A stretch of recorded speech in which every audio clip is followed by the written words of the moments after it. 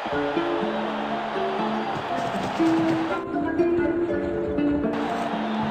Out करार दिया है umpire.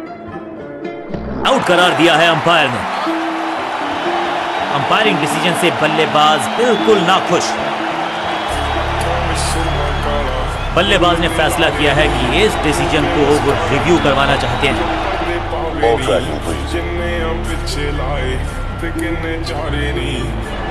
Verifying for a no ball.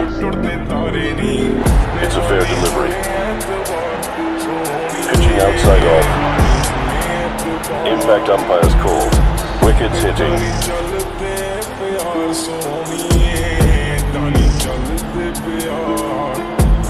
You can stick with your decision.